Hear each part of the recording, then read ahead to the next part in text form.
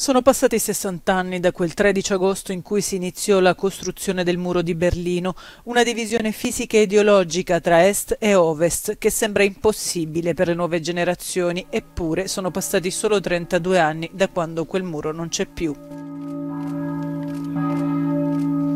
Queste le parole del presidente tedesco nel giorno dell'anniversario. Libertà e democrazia hanno bisogno di impegno e passione. Si comincia con la partecipazione al voto che il muro ha reso impossibile per così tante persone per così tanto tempo.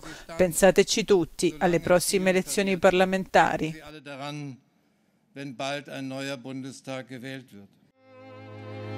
E a volte il regime si insinua usando parole democratiche. Quando 60 anni fa i soldati dell'Est iniziarono a mettere il filo spinato, gli fu detto semplicemente che stavano ponendo una barriera di protezione antifascista.